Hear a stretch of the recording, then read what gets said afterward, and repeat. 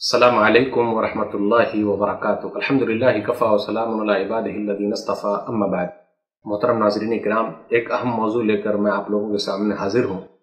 Joint family या single family हम और आप भारत देश में रहते हैं, यहाँ ज्वाइंट फैमिली का सिस्टम है। ज्वाइंट फैमिली को अच्छा कैसे बनाया जाए? ज्वाइंट फैमिली के बहुत सारे फ़ायदे भी हैं, लेकिन ज्वाइंट फैमिली के नुकसान भी हैं।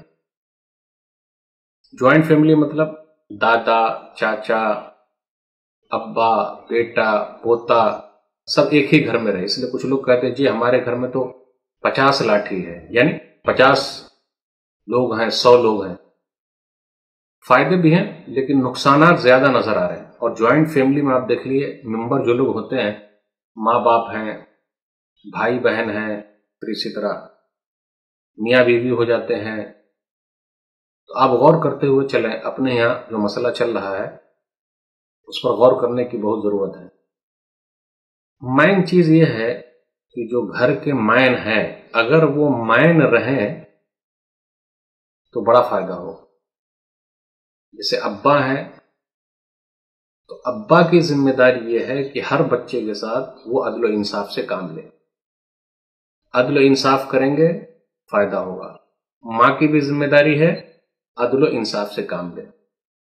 प्यार मोहब्बत में भी अदलो इंसाफ।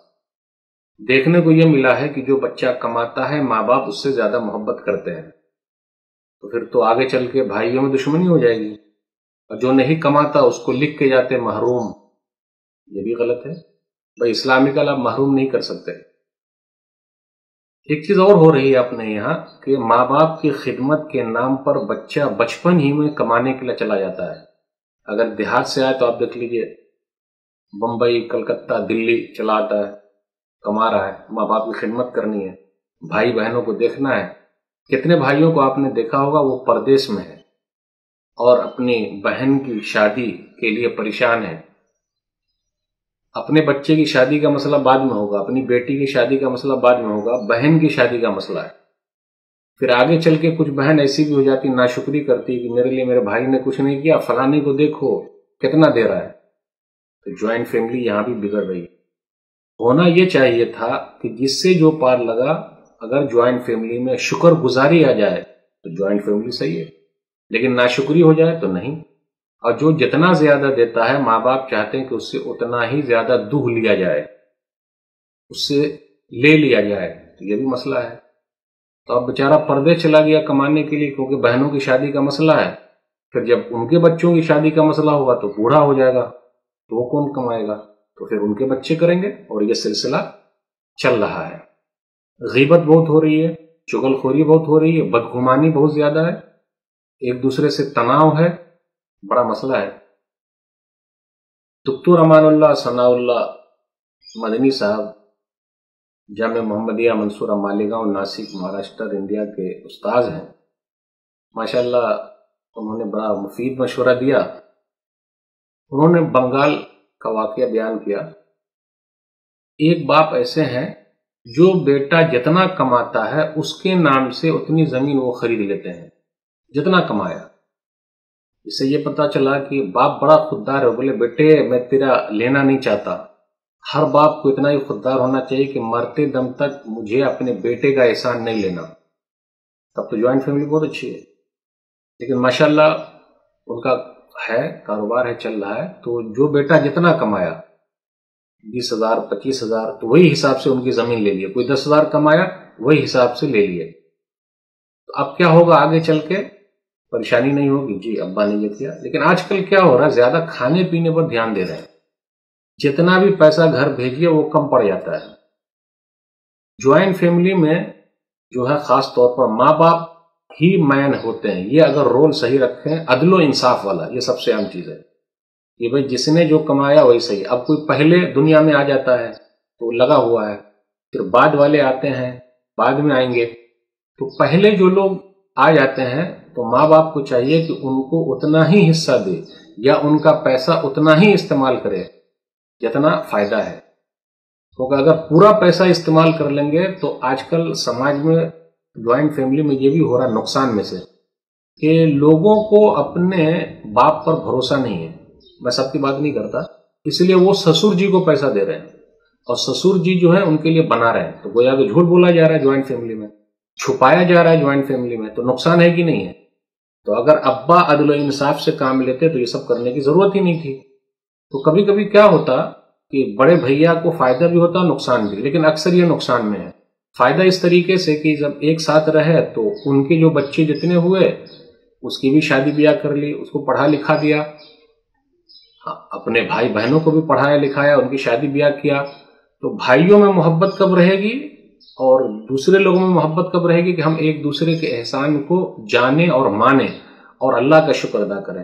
तो ज्वाइंट फैमिली में अल्लाह का शुक्र आ जाए ज्वाइंट फैमिली में अल्लाह का डर आ जाए ज्वाइंट फैमिली में एक दूसरे की इज़्ज़त और एहतराम आ जाए तो फिर ठीक है। लेकिन एक दूसरे की गीबत तो हमें लगे रहना बड़ा नुकसानदेह है। फिर इसी तरीके से ज्वाइंट फैमिली में देख लीजिए, सास बहू है। सास अगर अपनी बहू को बेटी मान ले, लेकिन ये होगा नहीं, लेकिन कहीं कहीं पर है भी तो बड़ा फ़ायदा है। सास बहू दोनों नमाजी है, लेकिन दोनों लड़ते और झगड़ते हैं। फ़ायदा क्या है? तो ज्वाइंट फैमिली के नुकसान आते हैं। एक दूसरे की इज़्ज़त और एहतराम। कभी कभी क्या होता, सास को यह लगता कि मेरा बेटा छीना जा रहा है। सास को यह सोचना चाहिए कि छीना नहीं जा रहा, बल्कि बेटे की मोहब्बत बढ़ गई है। पहले बोलता था, अम्मी अम्मी। तो अब ये हो गया उनकी शादी हो गई। एहतराम ज़रूरी है। अगर खुद की बेटी बीमार पड़े तो दामाद को फ़ोन कर दिया, ख्याल रखिएगा। और अगर बहू बीमार पड़े तो बेटे को भी फ़ोन करना चाहिए। तो ज्वाइंट फैमिली ऐसी चल पाएगी। अगर नाती नतनी उन लोगों का ख्याल रखते हैं तो पोता पोती का भी ख्याल रखना पड़ेगा, बराबरी। ये नहीं लगना चाहिए कि गड़बड़ हो रहा है, लेकिन अपने समाज में हो रहा है।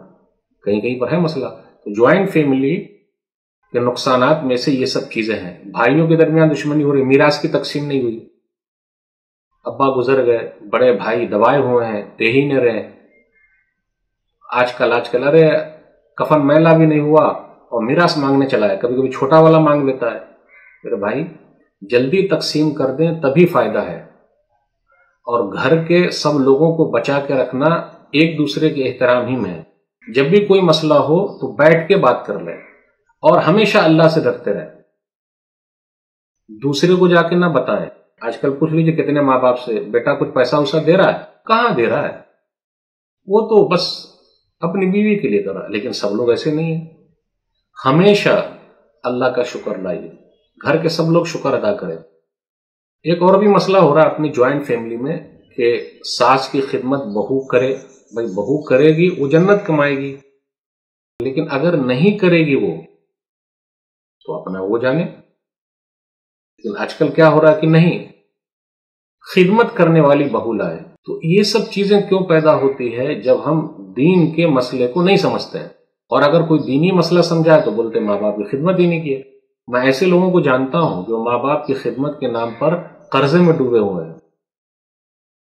अब क्या करेंगे? तो माँ बाप जो मांगे, देते जा रहे हैं, देते जा रहे हैं, देते जा रहे हैं, बोले, ये माँ बाप की खिदमत है। और जब हमने हाथ खोल दिया, फिर जब नहीं हुआ तो बोले, देखो, दे ही नहीं रहा तो पिछला पूरा भूल गए जो देता था। जो करते थे सब भूल गए। तो माँ बाप को भी ये होना चाहिए कि गीबत के नुकसान क्या है। और अगर हम दूसरे को बताएँगे तो अपने घर की बदनामी है। बहनों को भी चाहिए कि भाई का ख्याल रखे। भाई को भी चाहिए कि बहन का ख्याल रखे। कहा भैया ने कुछ नहीं किया? देखो, फलाने के भाई कितना दे रहे हैं। कितना यानी सिर्फ़ लेना देना ही असल इस्लाम है। लेना देना ही मोहब्बत है। इसलिए बड़े मसाइल हैं ज्वाइंट फैमिली के। हल करने का जो तरीका है, हर चीज़ में अल्लाह का डर और खौफ। अदलो इंसाफ। कोई भी बात हो, ये नहीं देखना चेहरा कि बेटी के हक में बोलो, बेटे के हक में मत बोलो। सबके हक में बोलना है। ऐसा नहीं है कि, जी नहीं, मेरी बेटी ही सही है, मेरी बहू गलत है ना? बहू भी सही हो सकती है।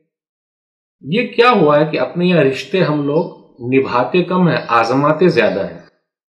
निभाते कम है, आजमाते ज़्यादा है, तजुर्बा होगा आपको। ये कानून लिख के आया है क्या? ये सिर्फ़ बेटा ही बाप को फ़ोन करेगा, बाप कभी फ़ोन नहीं कर सकते, कभी करते भी भाई, रिश्तेदारी आजमाने से नहीं चलती, निभाने से चलती है भाई। ये लिख के आया कहीं क्या कि बहू जो है, वही सास को फ़ोन करेगी, खैर खरीत मालूम करेगी तो अगर बराबरी वाला मसला तो भाई दस बार वो करे तो दस बार ये करे। ननद और भौजाई में भी नहीं, वही करे, भौजाई करे, ननद को कहा नहीं, बराबरी होनी चाहिए। बराबरी नहीं तो आगे पीछे होना चाहिए। लेकिन सिर्फ़ ये कि जब याद करे या इंतज़ार में रहे, आजकल लोग फ़ोन के इंतज़ार में रहते हैं। लेकिन उनको ये पता चल जाए कि अगर हम पहल करेंगे तो हमको ज़्यादा सवाब मिलेगा, सवाब की नीयत से कोई काम करेंगे तो फ़ायदा है। लेकिन आजकल रिश्ते में ये सब नहीं है। गीबतें बहुत है, चुगलखोरी बहुत ज़्यादा है, बदगुमानी बहुत ज़्यादा है। ये ज्वाइंट फैमिली के नुकसान है, एक दूसरे के टोह में लगे रहते हैं। कब क्या हो जाता है कि दूसरे को बोल दे, नीचा दिखाएँ, भाई चुगलखोरी कीजिएगा, कबर में आज़ाद होगा। तो इस्लामी तालीमत न होने की वजह से भी नुकसान है।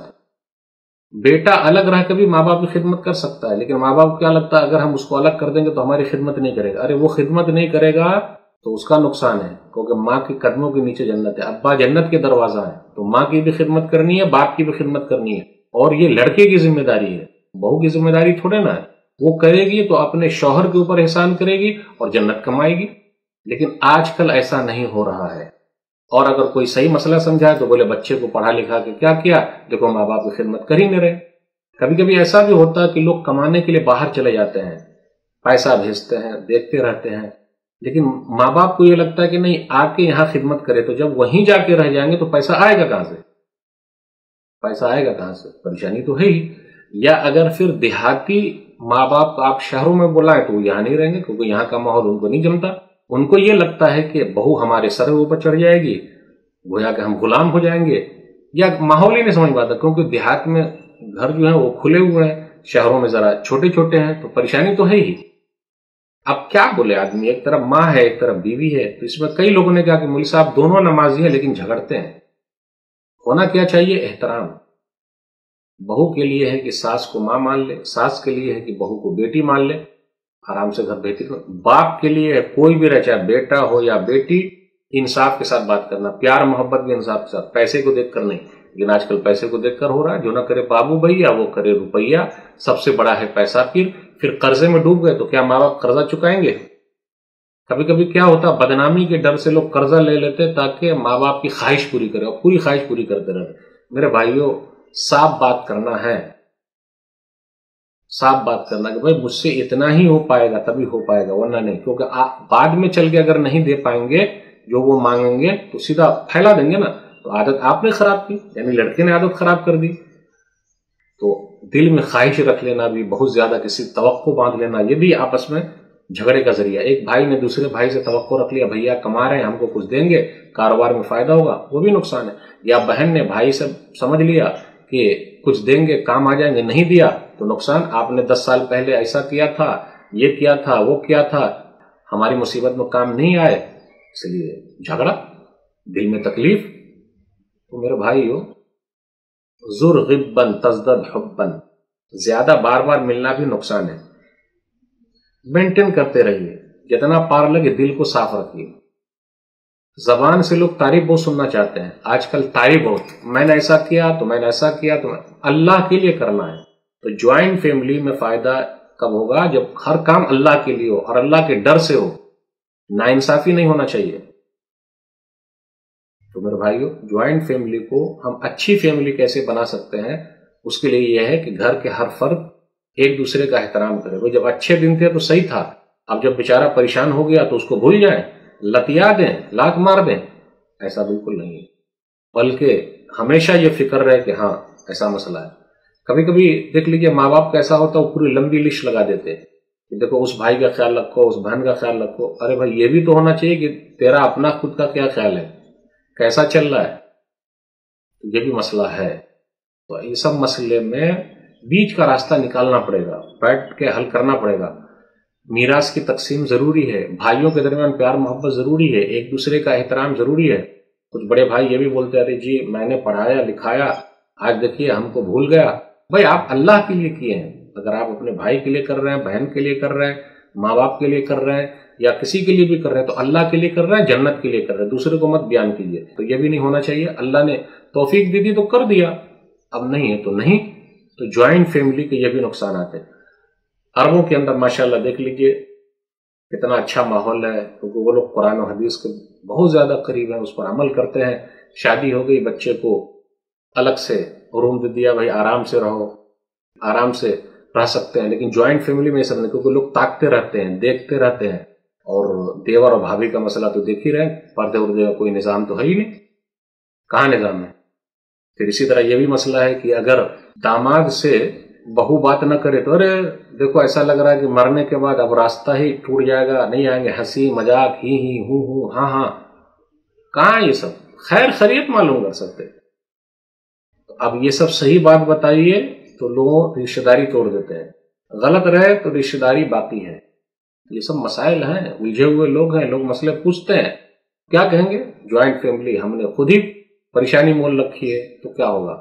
माँ बाप सबसे अहम रोल अदा करें अदल इंसाफ से काम लें एक दूसरे की इज़्ज़त करें एक दूसरे का एहतराम करें, कोई भी मसला हो बैठ के हल करें, गलती कम गलत फहमी ज़्यादा है, उसको दूर करें, और अल्लाह के सहारे ज़िंदा रहें। बेटे के सहारे नहीं किसी और के सहारे नहीं, अल्लाह का सहारा। और जो भी मिल जाए शुक्र गुजारी अल्लाह का शुक्र। नाशुक्री ज्वाइंट फैमिली में ज़्यादा है। और एक दूसरे का एहसान कभी फरामोश नहीं होने का, एहसान फरामोश नहीं होने का। बल्कि जो भी है, सही है। जिसने जो भी किया है, अल्लाह का शुक्र, अल्लाह का शुक्र, अल्लाह का शुक्र। ये हमारी लाइफ में आ जाए तो हमारी ज्वाइंट फैमिली वाकई ज्वाइंट रहे और उसके अंदर बरकत ही बरकत हो। ये चंद बातें किसी और मुनासिबत से हम आपसे इस मसले को गुफ्तु करेंगे। अल्लाह से दुआ है कि अल्लाह ताला हम लोगों की ज्वाइंट फैमिली को ज्वाइंट रखे, एक दूसरे के दिल को साफ़ रखे, एक दूसरे के एहतराम की तोफीक दे, अदलो इंसाफ से काम लेने की तोफीक दे, हक बात सामने बोलने की अल्लाह तोफीक दे, और जो कुरान और हदीस में बताया गया उसके हिसाब से चलने की तोफीक दे, आमीन। वसलम वरहमल वर्का